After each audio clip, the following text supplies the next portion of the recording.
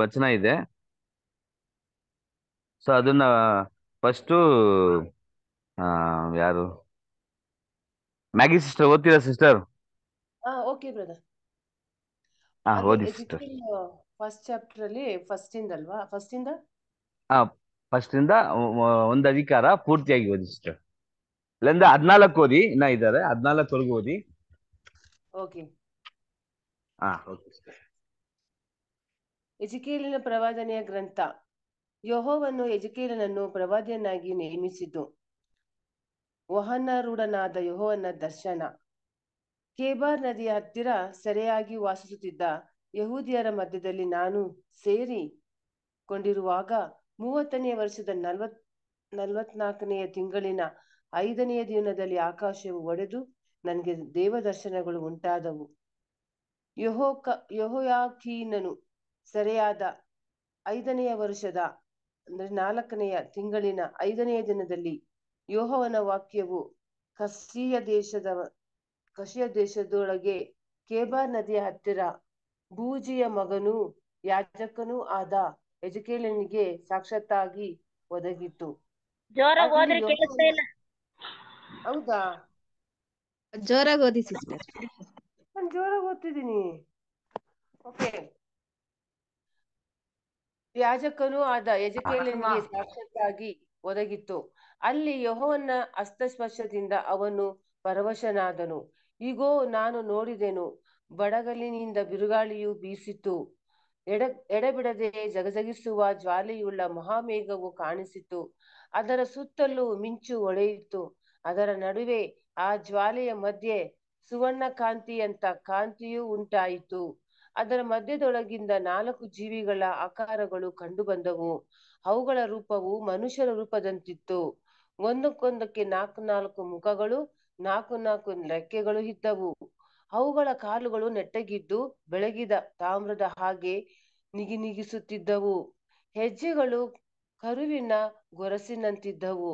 ಒಂದೊಂದು ಜೀವಿಯು ನಾಲ್ಕು ಪಾರ್ಶ್ವಗಳಲ್ಲಿನ ರೆಕ್ಕೆಗಳ ಕೆಳಗೆ ಮನುಷ್ಯ ಹಸ್ತದಂತ ಹಸ್ತಗಳಿದ್ದವು ಆ ನಾಲ್ಕು ಜೀವಿಗಳ ಮುಖಗಳು, ರೆಕ್ಕೆಗಳು ಹೇಗಿದ್ದವೆಂದರೆ ರೆಕ್ಕೆಗಳು ಒಂದಕ್ಕೊಂದು ತಗುಲುತ್ತಿದ್ದವು. ಆ ಜೀವಿಗಳು ಮುಂದು, ಮುಂದುವರಿದಾಗೆಲ್ಲ ತಿರುಗಿಕೊಳ್ಳದೆ ಹೊರಟ ಮುಖವಾಗಿಯೇ ಹೋಗುತ್ತಿದ್ದವು.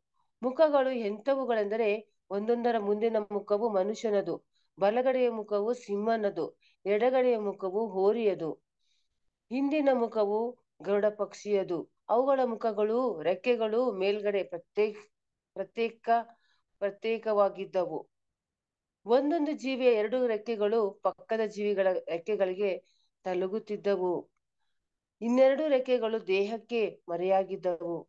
ಆ ಜೀವಿಗಳೆಲ್ಲ ಹೊರಟ ಮುಖವಾಗಿಯೇ ಹೋಗುತ್ತಿದ್ದವು. ದೇವರಾತ್ಮವು ಸಾಗಿಸಿದ ಕಡೆಗೆ ಸಾಗಿದವು. ತಿರುಗಿಕೊಳ್ಳದೆ ಮುಂದುವರಿದವು. ಆ ಜೀವಿಗಳ ಮಧ್ಯದಲ್ಲಿ ಅದ್ಭುತ ಕಾಂತಿಯ ಉರಿಯುವ ಕೆಂಡಗಳೋ, ಪಂಜೆಗಳೋ ಎಂಬಂತೆ ಕಾಣಿಸಿತು. ಅದು ಜೀವಿಗಳ ನಡುವೆ ಓಲಾಡುತ್ತಿತ್ತು. ಆ ಉರಿಯು ತೇಜೋಮಯವಾಗಿತ್ತು. ಅದರೊಳಗಿಂದ ಮಿಂಚುಗಳು ಹೊರಡುತ್ತಿದ್ದವು. ಆಮೇನ್. ಥ್ಯಾಂಕ್ ಯು ಸಿಸ್ಟರ್ ಹದಿನಾಲ್ಕರಿಂದ ಇಪ್ಪತ್ತೆಂಟುವರೆಗೂ ವರೆಗೂ ದೀಪಾ ಸಿಸ್ಟರ್ ಓದ್ತೀರಾ ಸಿಸ್ಟರ್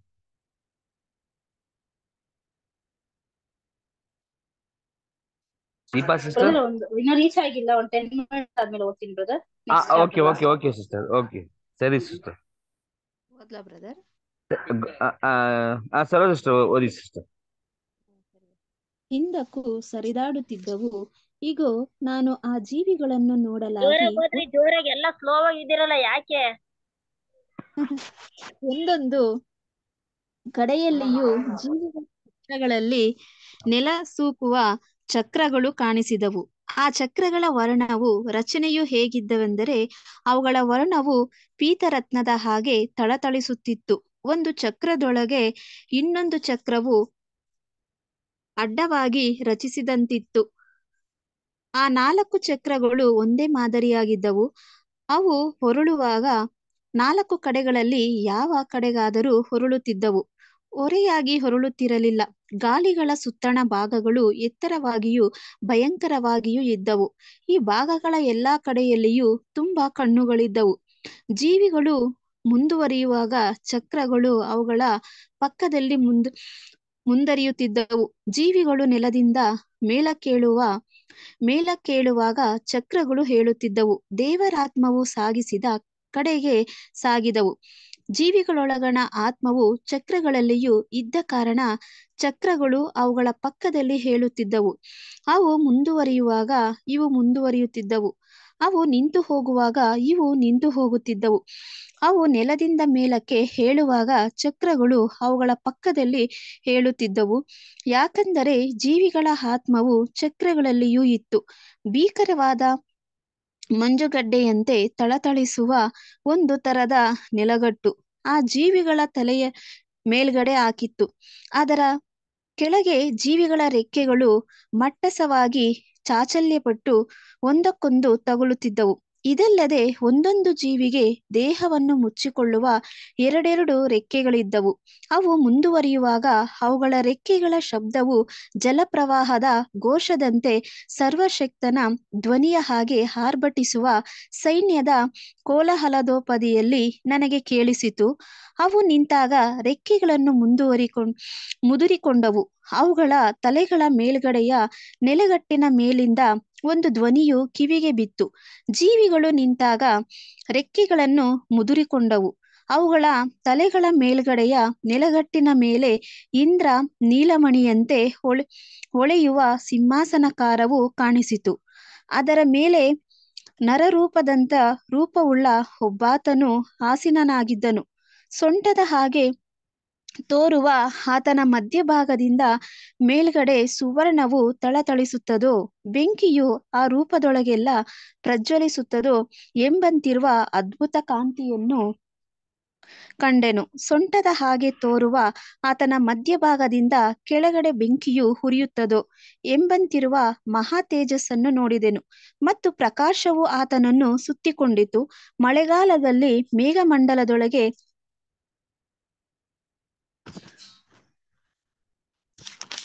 ಬಿಲ್ಲು ಹೊಳೆಯುವಂತೆ ಆತನ ಸುತ್ತಣ ಪ್ರಕಾಶವು ಹೊಳೆಯುತ್ತಿತ್ತು. ಹೀಗೆ ಯಹೋವನ ಮಹಿಮ್ ಮಹಿಮಾದ್ಭುತ ದರ್ಶನವು ಆಯಿತು. ಇದು ಕಣ್ಣಿಗೆ ಬೀಳಲು ನಾನು ಅಡ್ಡ ಬಿದ್ದು ಮಾತಾಡುವ ಆತನ ವಾಣಿಯನ್ನು ಕೇಳಿದೆನು. Thank you brother hello thank you sister thank you sister sir next ಎರಡನೇ ಅಧಿಕಾರ. ಅದು ಒಂದರಿಂದ ಹತ್ತು ವರ್ಷನ ಇದೆ ಗೌರಮ್ಮ ಸಿಸ್ಟರ್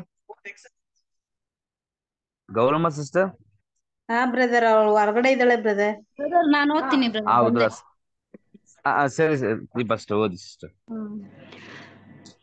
ಎರಡನೇ ಅಧಿಕಾರ. ಆತನು ನನಗೆ. ನರಪುತ್ರನೇ. ಏನು ನಿಂತುಕೊಂಡ್ ಎ- ಎ- ಎನ್- ಎನ್- ಎದ್ದು ನಿಂತಿಕೋ. ನಿನ್ನ ಸಂಗಡ ಮಾತನಾಡುವೆನು ಎಂದು ಹೇಳಿದನು. ಆತನು ಈ ಮಾತನ್ನು ಹೇಳಿದ ಕೂಡಲೇ ದೇವರಾತ್ಮ, ದೇ- ದೇವರಾತ್ಮನೊಳಗೆ ಸೇರಿ ನಾನು ಎದ್ದು ನಿಂತಿಕೊಳ್ಳುವಂತೆ ಮಾಡಿ, ಮಾಡಿತು. ಆಗ ನಾ, ನನ್ನೊಡನೆ ಮಾತನಾಡಿದಾತನ ನುಡಿಯನ್ನು ಚೆನ್ನಾಗಿ ಕೇಳಿದೆನು. ಆತನು ನನಗೆ ಹೀಗೆ ಹೇಳಿದನು, ನರಪುತ್ರನೇ, ನನಗೆ ವಿರುದ್ಧವಾಗಿ ತಿರುಗಿ ಬಿದ್ದು ದ್ರೋಹ ಮಾಡಿದ ಜನಾಂಗದವರಾದ ಇಸ್ರಹೇಲ್ಯರ ಬಳಿಗೆ ನಿನ್ನನ್ನು ಕಲಿಸುವೆನು ಈ ದಿನದ ವರೆಗೆ ಅವರು ಅವರ ಪಿತೃಗಳು ನನಗೆ ಅಪರಾಧ ಮಾಡ್ ಮಾಡುತ್ತಲೇ ಇದ್ದಾರೆ. ನಾನು ಯಾವ ಸಂತಾನದವರ ಬಳಿಗೆ ನಿನ್ನನ್ನು ಕಳುಹಿಸುತ್ತೇನೋ ಆ ಸಂತಾನದವರು ನಾಚಿಕೆ ಕೆಟ್ಟವರು ಆಟಗಾರರು ಆಗಿರುತ್ತಾರೆ. ನೀನು ಅವರಿಗೆ ಕರ್ತನ ಯಹೋವನು ಕರ್ತನಾದ ಯಹೋವನ್ನು ಇಂತೆನ್ನುತ್ತಾನೆ ಎಂದು ನುಡಿ. ಅವರು ದ್ರೋಹಿ ವಂಶದವರು. ಒಂದು ವೇಳೆ ಕೇಳದೆ ಹೋದ, ಹೋದರೆ, ಹೋದರು, ಕೇಳಿದರು, ಕೇಳದೆ ಹೋದರು ಒಬ್ಬ ಪ್ರವಾದಿಯು ತಮ್ಮ ಮಧ್ಯದಲ್ಲಿ ಕಾಣಿಸಿಕೊಂಡಿದ್ದಾನೆಂದು ತಿಳಿಯದೆ ಇರುವರು. ನರಪುತ್ರನೇ, ನೀನು ಮುಳ್ಳು ಕಪ್, ಮುಳ್ಳು ಕಪ್ಪೆಗಳಿಗೆ ಸಿಕ್ಕಿಕೊಂಡು ಚೇಲು, ಜೇಲುಗಳ ನಡುವೆ ವಾಸಿಸುವಂತೆ ಅವರ ಮಧ್ಯದಲ್ಲಿ, ಮಧ್ಯದಲ್ಲಿದ್ದರು ಅವರಿಗೆ ಭಯಪಡಬೇಡ. ಅವರ ಕದರಿಕೆಗೆ ಹೆದರ ಎದರದಿರು ಅವರು ದ್ರೋಹಿ ವಂಶದವರು. ಅವರ ಬಿರು ಬಿರುನುಡಿಗೆ ತಿಗಿಲು ಪಡಬೇಡ. ಅವರ ಬಿರು ಬಿರು ನುಡಿಗೆ ಬೆಚ್ಚ, ಬೆಚ್ಚದಿರು. ಅವರು ಕೇಳಿದರು ಕೇಳದೆ ಹೋದರೂ ನೀನು ನಿನ್ನ ಮಾತುಗಳನ್ನು ಅವರಿಗೆ ನುಡಿಯ ನುಡಿಯ ನುಡಿಯಲೇಬೇಕು. ಅವರು ದ್ರೋಹಿಗಳೇ ಹೌದು. ಇದಲ್ಲದೆ ಆತನು ನರಪುತ್ರನೇ, ನಾನು ನಿನಗೆ ನುಡಿಯುವ ಮಾತನ್ನು ಕೇಳು. ಅವಿದೆ, ಅವಿಧೇಯರಾದ ಆ ವಂಶದವರಂತೆ ನಿನ್, ನೀನು ಅವಿದೆಯನಾಗಿರಬೇಡ ನಾನು ಕೊಡುವುದನ್ನು ಬಾಯಿ ತೆರೆದು ತಿಂದು ಬಿಡು ಅಂದನು. ಹಾ ಆಹಾ ನಾನು ನೋಡಲಾಗಿ ಒಂದು ಕೈ ನನ್ನ ಕಡೆಗೆ ಚಾಚಿತು ಇಗೋ, ಅದರಲ್ಲಿ ಗ್ರಂಥದ ಸುರಳಿ ಸುರುಳಿಯು ಕಾಣಿಸಿತ್ತು. ಅದನ್ನು ಆ ಸುರಳಿಯನ್ನು ನನ್, ನನ್ನೆದುರಿನಲ್ಲಿ ಬಿಚ್ಚಿದನು. ಅದರ ಎರಡು ಪಕ್, ಪಕ್ಕೆಗಳ, ಪಕ್ಕೆಗಳಲ್ಲಿಯೂ ಬರೆದಿತ್ತು. ಅದರಲ್ಲಿ ಬರೆದಿ, ಬರೆದದ್ದು ಗೋ ಗೋಲು ಮುಳು ಮುಳುಗು ಮುಳುಗು ಮೊರೆ ಇವುಗಳೇ. Thank you. Sister thank you brother thank you sister ಆ ಮೂರನೇ ಅಧಿಕಾರ ಒಂದರಿಂದ ಇಪ್ಪತ್ತೇಳುವರೆಗೂ ಇದೆ. ಸೊ ಒಂದರಿಂದ ಹದಿನಾಲ್ಕುವರೆಗೂ ಸುಜಾ ಸುಜಾತಾ ಸಿಸ್ಟರ್ ಓದ್ಬೇಕಾಗಿ ತಿಳ್ಕೊಂತೀನಿ. ಓದ್ತೀನಿ ಬ್ರದರ್ ಆತನು ನನಗೆ ನರಪುತ್ರನೇ ನಿನಗೆ ಸಿಕ್ಕಿದ ಈ ಸುರುಳಿಯನ್ನು ತಿನ್ನು. ಇದರಲ್ಲಿನ ಸಂಗತಿಗಳನ್ನು ಇಸ್ರಾಯೇಲ್ ವಂಶದವರಿಗೆ ಸಾರು. ನಡೆ ಎಂದು ಅಪ್ಪಣೆ ಕೊಟ್ಟನು. ನಾನು ಬಾಯಿ ತೆರೆಯಲು ಆತನು ಆ ಸುರುಳಿಯನ್ನು ನನಗೆ ತಿನ್ನಿಸಿದನು. ಆಗ ಆತನು ನನಗೆ, ನರಪುತ್ರನೇ, ನಾನು ಕೊಡುವ ಈ ಸುರುಳಿಯನ್ನು ತಿಂದು ಹೊಟ್ಟೆ ತುಂಬಿಸಿಕೋ ಎಂದು ಹೇಳಲು ಅದನ್ನು ತಿಂದು ಬಿಟ್ಟೆನು ಅದು ನನ್ನ ಬಾಯಲ್ಲಿ ಜೇನಿನಂತೆ ಸಿಹಿಯಾಗಿತ್ತು. ಪ್ರವಾದಿಗೆ ಅವಶ್ಯಕವಾದ ಸ್ಥೈರ್ಯ. ಆಮೇಲೆ ಆತನು ನನಗೆ ಹೀಗೆ ಹೇಳಿದನು. ನರಪುತ್ರನೇ ನೀನು ಇಸ್ರಾಯೇಲ್ ವಂಶದವರ ಬಳಿಗೆ ಹೋಗಿ ನಾನು ತಿಳಿಸುವ ಮಾತುಗಳನ್ನು ಅವರಿಗೆ ನುಡಿ. ನಾನು ನಿನ್ನನ್ನು ಇಸ್ರಾಯೇಲ್ ವಂಶದವರ ಬಳಿಗೆ ಕಳಿಸುತ್ತೇನೆಯೇ ಹೊರತು ಕಷ್ಟಕರವಾದ ಅನ್ಯ ಭಾಷೆಯ ಜನರ ಬಳಿಗೆ ಕಳಿಸುವುದಿಲ್ಲ. ಹೌದು, ನಿನಗೆ ತಿಳಿಯಲಾಗದ ಕಷ್ಟಕರವಾದ ಅನ್ಯ ಭಾಷೆಯನ್ನಾಡುವ ನಾನಾ ಜನಾಂಗಗಳ ಕಡೆಗೆ ನೀನು ಕಳುಹಿಸ, ಕಳುಹಿಸಲ್ಪಟ್ಟವನಲ್ಲ. ಇಂಥವರ ಕಡೆಗೆ ನಾನು ನಿನ್ನನ್ನು ಕಳುಹಿಸಿದ ಪಕ್ಷದಲ್ಲಿ ಅವರಾದರೂ ನಿಶ್ಚಯವಾಗಿ ನಿನ್ನ ಮಾತಿಗೆ ಕಿವಿಗೊಡುತ್ತಿದ್ದರು. ಇಸ್ರಾಯೇಲ್ ವಂಶದವರು ನಿನಗೆ ಕಿವಿ ಗೊಡಲೊಲ್ಲರು, ನನಗೆ ಕಿವಿಗೊಡಲೊಲ್ಲರು ಅವರೆಲ್ಲರೂ ನಾಚಿಕೆಗೆಟ್ಟವರು ಹಠಗಾರರು ಆಗಿದ್ದಾರಲ್ಲ. ಇಗೋ, ಅವರ ಕಠಿಣ ಮುಖಕ್ಕೆ ವಿರುದ್ಧವಾಗಿ ನಿನ್ನ ಮುಖವನ್ನು ಕಠಿಣಪಡಿಸಿದ್ದೇನೆ. ಅವರ ಹಣೆಗೆ ಪ್ರತಿಯಾಗಿ ನಿನ್ನ ಹಣೆಯನ್ನು ಗಟ್ಟಿ ಮಾಡಿದ್ದೇನೆ ನಿನ್ನ ಹಣೆಯನ್ನು ಕಗ್ಗಲ್ಲಿಗಿಂತ ಕಠಿಣವಾದ ವಜ್ರದಷ್ಟು ಕಠಿಣಪಡಿಸಿದ್ದೇನೆ. ಅವರು ದ್ರೋಹಿ ವಂಶದವರು, ಅವರಿಗೆ ಭಯಪಡಬೇಡ. ಅವರ ಬಿರುನೋಟಕ್ಕೆ ಬೆಚ್ಚದಿರು. ಇದಲ್ಲದೆ ಆತನು ನನಗೆ ಹೀಗೆ ಹೇಳಿದನು, ನರಪುತ್ರನೇ, ನಾನು ನಿನಗೆ ನುಡಿಯುವ ಮಾತುಗಳನ್ನೆಲ್ಲ ಕಿವಿಯಿಂದ ಕೇಳಿ ಹೃದಯದಲ್ಲಿಟ್ಟುಕೋ. ಸೆರೆಯಾಗಿರುವ ನಿನ್ನ ಸ್ವಜನರ ಬಳಿಗೆ ಹೋಗಿ ಅವರು ಕೇಳಿದರೂ, ಕೇಳದೆ ಹೋದರೂ ಅವರನ್ನು ಪ್ರಬೋಧಿಸಿ, ಕರ್ತನಾದ ಯಹೋವನು ಇಂತೆನ್ನುತ್ತಾನೆ ಎಂದು ಅವರಿಗೆ ಸಾರು. ಪ್ರವಾದಿಯು ತನ್ನ ಉದ್ಯೋಗಸ್ಥ ಸ್ಥಳಕ್ಕೆ ಸೇರಿದ್ದು.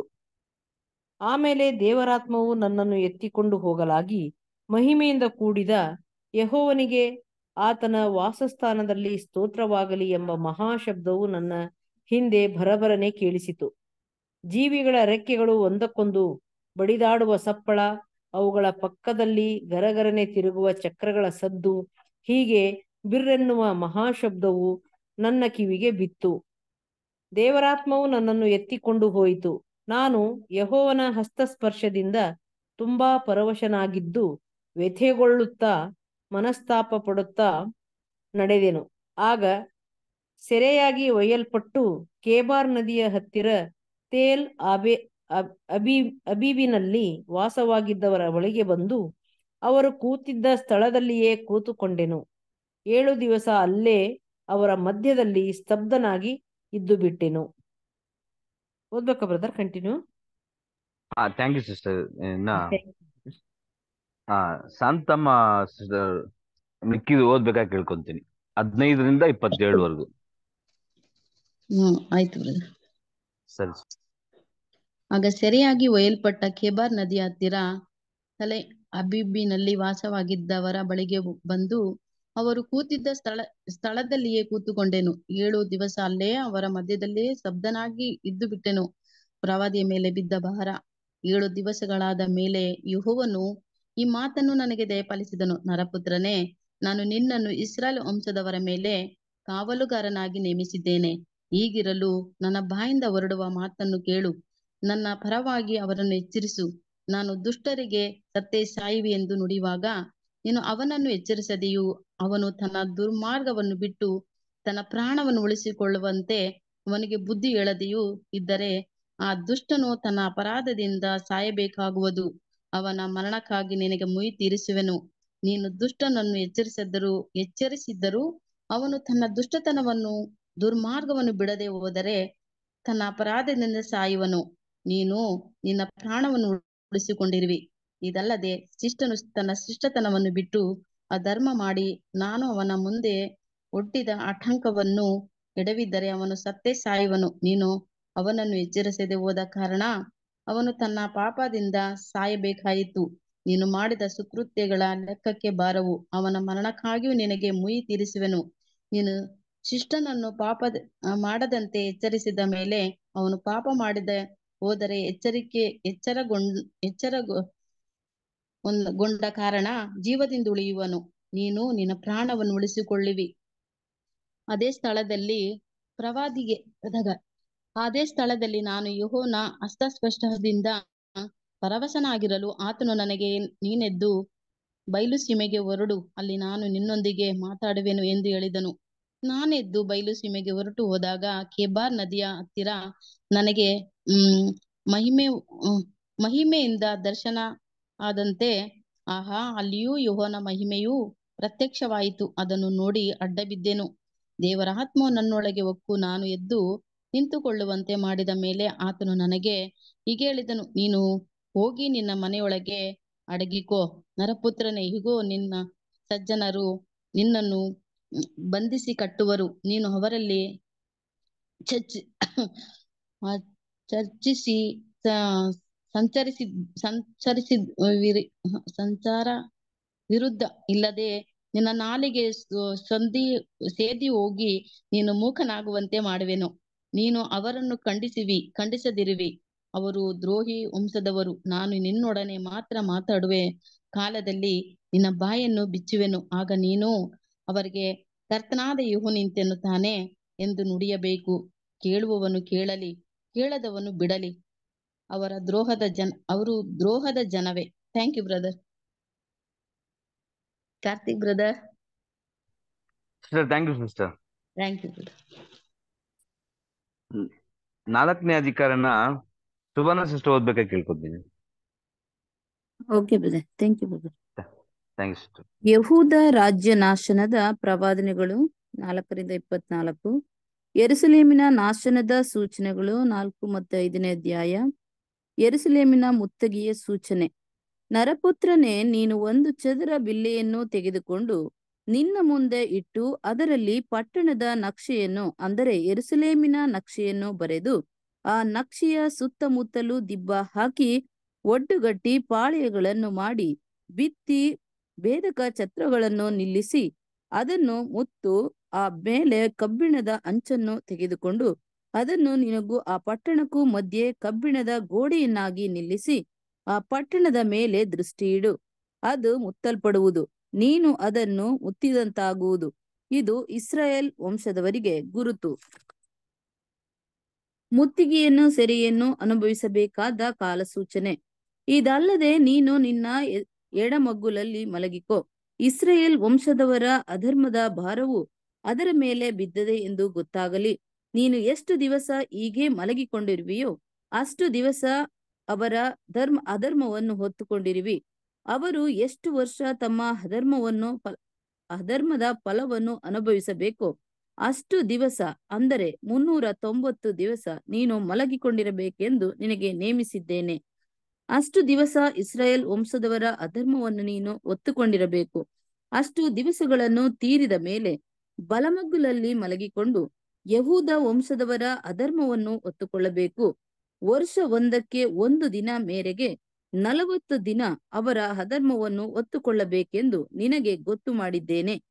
ನಿನ್ನ ತೋಳಿಗೆ ಒದಿಕೆ ಇಲ್ಲದೆ ಮುತ್ತಿಗೆಯಾದ ಎರುಸಲೇಮಿನ ಕಡೆಗೆ ಮೋರೆ ತಿರುಗಿಸಿ ಅದರ ವಿಷಯವಾಗಿ ಅಶುಭವನ್ನು ಪ್ರಕಟಿಸು. ಈಗೋ ನಿನ್ನ ಮುತ್ತಿಗೆಯ ದಿನಗಳು ತೀರುವ ತನಕ ನೀನು ಬಲಮಗ್ಗುಲಿಂದ ಎಡಮಗ್ಗುಲಿಗೆ ಒರಳದಂತೆ ನಿನ್ನನ್ನು ಬಂಧಿಸುವೆನು. ಮುತ್ತಿಗೆಯಲ್ಲಿನ ಕೊರತೆ, ಸೆರೆಯಲ್ಲಿನ ಹೊಲೆ ಇವುಗಳ ಸೂಚನೆ.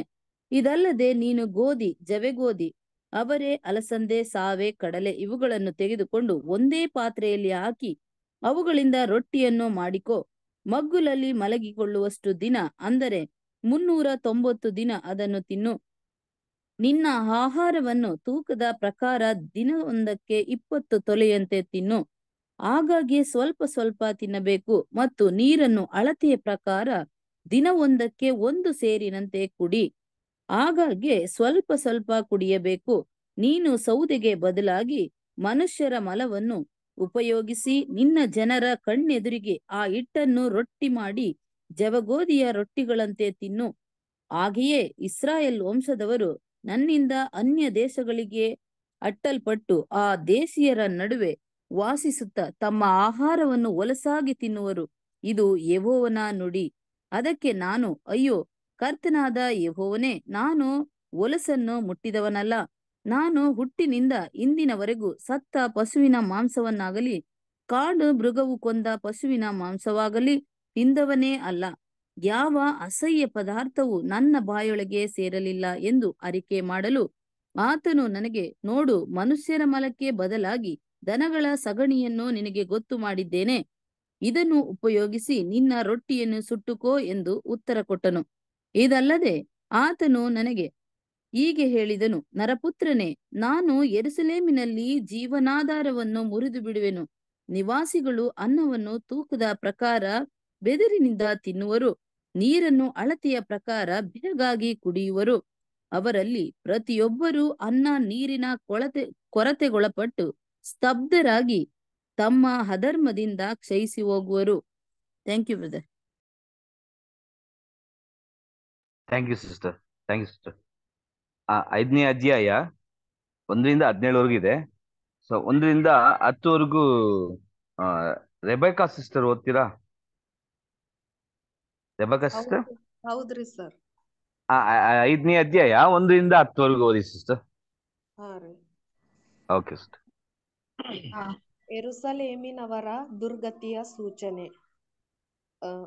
ಎಜ್ಕೇಲ ಐದನೇ ಅಧ್ಯಾಯ ಒಂದನೇ ಬರ್ಲಿ ಸಣ್ಣ ಎಜ್ಕೇಲ ಐದನೇ ಅಧ್ಯಾಯ ಒಂದನೇ ವಚನದಿಂದ ಹತ್ತರವರೆಗೆ ನರಪುತ್ರನೇ ಹದವಾದ ಖಡ್ಗವನ್ನು ತೆಗೆದುಕೊಂಡು ಕ್ಷಾರಕನ ಕತ್ತಿಯನ್ನಾಗಿ ಉಪಯೋಗಿಸಿ ನಿನ್ನ ತಲೆಯನ್ನು ಗಡ್ಡವನ್ನು ಬೋಳಿಸಿಬಿಟ್ಟು ತ್ರಾಸನ್ನು ತಂದು ಅದರಿಂದ ಆ ಕೂದಲನ್ನು ಸರಿಯಾಗಿ ಮೂರು ಭಾಗ ಮಾಡು. ಮುತ್ತಿಗೆಯ ದಿನಗಳು ತೀರಿದ ಕೂಡಲೇ ಕೂದಲಿನ ಒಂದು ಭಾಗವನ್ನು ಪಟ್ಟಣದ ಮಧ್ಯದೊಳಗೆ ಬೆಂಕಿಯಲ್ಲಿ ಸುಡು. ಇನ್ನೊಂದು ಭಾಗವನ್ನು ತೆಗೆದುಕೊಂಡು ಪಟ್ಟಣದ ಸುತ್ತಲೂ ಕಡಗದಿಂದ ಕಡಿ.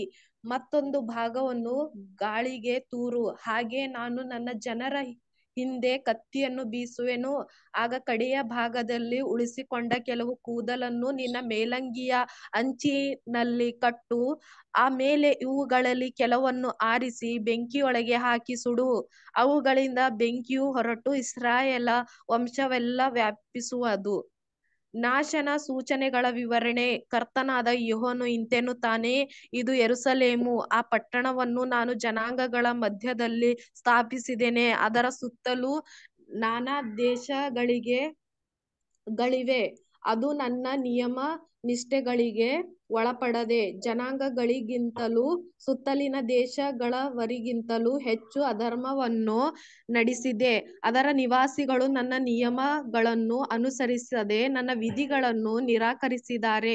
ಹೀಗಿರಲು ಕರ್ತನಾದ ಯೆಹೋವನು ಇಂತೆನ್ನುತ್ತಾನೆ, ನೀವು ನನ್ನ ನಿಯಮಗಳನ್ನು ಅನುಸರಿಸದೆ, ನನ್ನ ವಿಧಿಗಳನ್ನು ಕೈಗೊಳ್ಳದೆ, ನಿಮ್ಮ ಸುತ್ತಲಿನ ಜನಾಂಗಗಳ ಧರ್ಮ ವಿಧಿಗಳನ್ನು ಆಚರಿಸ ಆಚರಿಸದೆ ಆ ಜನಾಂಗಗಳಿಗಿಂತ ಹೆಚ್ಚು ದೊಂಬಿ ಮಾಡುವವರಾಗಿರುವುದರಿಂದ ಎರುಸಲೇಮೆ ಇಗೋ, ನಾನೇ ನಿನಗೆ ವಿರುದ್ಧವನಾಗಿದ್ದೇನೆ. ಜನಾಂಗಗಳ ಕಣ್ಣೆದುರಿಗೆ ನಿನ್ನ ಜನರನ್ನು ದಂಡಿಸುವೆನು. ಇದು ಕರ್ತನಾದ ಯೆಹೋವನ ನುಡಿ. ನೀನು ಬಹಳ ಅಸಹ್ಯ ಕಾರ್ಯಗಳನ್ನು ನಡೆಸಿದರಿಂದ ನಾನು ಈವರೆಗೂ ಇನ್ನು ಮುಂದೆಯೂ ಮಾಡದಂತ ದಂಡನೆಯನ್ನು ಈಗ ನಿನಗೆ ಮಾಡುವೆನು. ಹೀಗಿರಲು ನಿನ್ನಲ್ಲಿ ತಂದೆಗಳು ಮಕ್ಕಳನ್ನು ಮಕ್ಕಳು ತಂದೆಗಳನ್ನು ತಿನ್ನುವರು. ನಾನು ನಿನ್ನನ್ನು ದಂಡಿಸಿ ನಿನ್ನಲ್ಲಿ ಉಳಿದ ಸಮಸ್ತರನ್ನು ಎಲ್ಲಾ ಕಡೆಯ ಗಾಳಿಗೂ ತೂರುವೆನು. Amen. Thank you brother thank you sister Ravi brother ಇದೀರಾ brother Ravi brother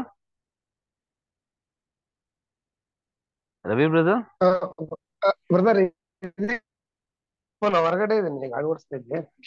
ಹಾ ಸರಿ ಬ್ರದರ್ ಸರಿ brother. Okay thank you Sagar brother ಇದೀರಾ ಬ್ರದರ್ ಓದ್ತೀನಿ ಬ್ರದರ್. ಆ ಆ ಸಿಸ್ಟರ್ ನೀವೇ ಓದ್ಬೇಕು. ಪ್ರಾರ್ಥನೆಗೆ ಹೇಳ್ದೆ ಸಾಗರ್ ಬ್ರದರ್ ಕೇಳ್ತೀನಿ. ಸಾಗರ್ ಬ್ರದರ್? ಟ್ರ್ಯಾಕ್ಟರ್ ಇದ್ದಾರೆ ಬ್ರದರ್ ಅವರು. ಹೌದ್ರಾ? ಸರಿ. ಆ ಗೌರಮ್ಮ ಸಿಸ್ಟರ್. ಪ್ರೇಯರ್ ಮಾಡ್ತೀನಿ ಬ್ರದರ್. ಪ್ರೇಯರ್ ಮಾಡ್ತೀನಿ ಹಾ. ಕೊನೆ ಪ್ರಾರ್ಥನೆ ರವಿ ಬ್ರದರ್ ಮಾಡಿ ಗೌರವ ಗೌರಮ್ಮ ಸಿಸ್ಟರ್ ಮಿಕ್ಕಿದ್ ಓದಿ ಸಿಸ್ಟರ್ ಹದ್ನೋ ಹನ್ನೊಂದನೆಯಿಂದ ಹದಿನೇಳವರೆಗೂ ನೀವು ಓದಿ sister okay brother. Thank you sister. ಯಹೋವನು ಯೆಹೋವನು ಇಂತೆನ್ನುತ್ತಾನೆ ನನ್ನ ಜೀವದಾಣೆ ನೀನು ನನ್ನ ಹೇರಳವಾದ ಹೇಯ ಹೇಯ ವಿಗ್ರಹಗಳಿಂದಲೂ ಅಸಹ್ಯ ವಸ್ತುಗಳಿಂದಲೂ ನನ್ನ ಪವಿತ್ರಾಲಯವನ್ನು ಹೊಲಸು ಮಾಡಿದ್ದರಿಂದ ಖಂಡಿತವಾಗಿ ನಾನು ಸಹಿಸೆನು ಕಟಾಕ್ಷಿಸೆನು ಕ್ಷಮಿಸೆನು ನಿನ್ನಲ್ಲಿನ ಮೂರನೆಯ ಒಂದು ಭಾಗದವರು, ವ್ಯಾಧಿಯಿಂದ ಸಾಯುವರು. ನಿನ್ನ ಮಧ್ಯದಲ್ಲಿ ಕ್ಷಾಮದಿಂದ ನಾಶವಾಗುವರು. ಇನ್ನೊಂದು ಭಾಗದವರು, ನಿನ್ನ ಸುತ್ತಲೂ ಖಡ್ಗದಿಂದ ಹತರಾಗುವರು. ಮತ್ತೊಂದು ಭಾಗದವರು, ನಾನು ಎಲ್ಲಾ ಕಡೆಯ ಗಾಳಿ, ಗಾಳಿಗೂ ತೂರಿ ಅವರ ಹಿಂದೆ ಕತ್ತಿಯನ್ನು ಬೀಸುವೆನು. ಹೀಗೆ ನನ್ನ ಸಿಟ್ಟನ್ನು ತೀರಿಸಿಕೊಳ್ಳುವೆನು. ನನ್ನ ರೋಷವನ್ನು ಅವರ ಮೇಲೆ ಸುರಿದು ಶಾ, ಶಾಂತನಾಗುವೆನು. ಆಗ್ರಹದಿಂದ ಮಾತನಾಡಿ ಮಾತಾಡಿದವನು ಯಹೋವನಾದ ನಾನೇ ಎಂಬುದು ನನ್ನ ಕೋಪವನ್ನು ಅವರ ಮೇಲೆ ಹೊಯ್ದು ಬಿಟ್ಟ ಬಳಿಕ ಅವರಿಗೆ ಗೊತ್ತಾಗುವುದು. ಹಾದು ಹೋಗುವವರೆಲ್ಲರ ಕಣ್ಣೆದುರಿಗೆ ನಾನು ನಿನ್ನನ್ನು ಹಾಳು ಮಾಡಿ ಸುತ್ತಲಿನ ಜನಾಂಗಗಳ ನಿಂದೆಗೆ ಗುರಿ ಮಾಡುವೆನು ನಾನು ಕೋಪದಿಂದಲೂ ರೋಷದಿಂದಲೂ ಕಠಿಣ, ಕಠಿಣವಾದ ಖಂಡನೆಯಿಂದಲೂ ನಿನಗೆ ಮಾಡುವ ದಂಡನೆಗಳು ಸುತ್ತಲಿನ ಜನಾಂಗಗಳ ದೋಷ ದೋಷ ದೋಷಣ ಪರಿಹಾರಗಳಿಗೂ ಬುದ್ಧಿ, ಬುದ್ಧಿವಾದಾಶ್ಚರ್ಯಗಳಿಗೂ ಆಸ್ಪದವಾಗುವವು ಇದು ಯಹೋವನಾದ ನನ್ನ ನುಡಿ. ಆಗ ನಾನು ನಿನ್ನನ್ನು ಹಾಳು ಮಾಡಲಿಕ್ಕೆ ಕ್ಷಮವೆಂಬ ನಾಶಕರವಾದ ತೀಕ್ಷ್ಣ ಬಾಳಗಳ, ಬಾಣಗಳನ್ನು ನಿನ್ನ ಮೇಲೆ ಬಿಡುವೆನು. ನಿನ್ನನ್ನು ಬರ, ಬರದಿಂದ ಬಹಳವಾಗಿ ಬಾಧಿಸಿ ನಿನ್ನ ಜೀ ಜೀವನಾಧಾರವನ್ನು ಮುರಿದು ಹಾಕುವೆನು. ನಾನು ಕಳುಹಿಸುವ ಕ್ಷಾಮವು ದುಷ್ಟ ಮೃಗಗಳು ನಿನಗೆ ಪುತ್ರ ವ್ಯಾಧಿಯು ರಕ್ತ ಪ್ರಹ ಪ್ರವಾಹವು ನಿನ್ನಲ್ಲಿ ವ್ಯಾಪಿಸುವವು. ನಿನ್ನನ್ನು ಖಡ್ಗಕ್ಕೆ ತುತ್ತು ಮಾಡುವೆನು ಇದು ಯೋಹೋವನಾದ ನನ್ನ ನುಡಿ. Thank you brother thank you sister Ravi brother ಪ್ರಾರ್ಥನೆ ಮಾಡಿ ಬ್ರದರ್ ಕೊನೆ ಕೊನೆ ಪ್ರಾರ್ಥನೆ. Okay thank you thank you ಪ್ರಾರ್ಥನೆ ಮಾಡಿಕೊಳ್ಳೋಣ. ಪರಿಶುದ್ಧನು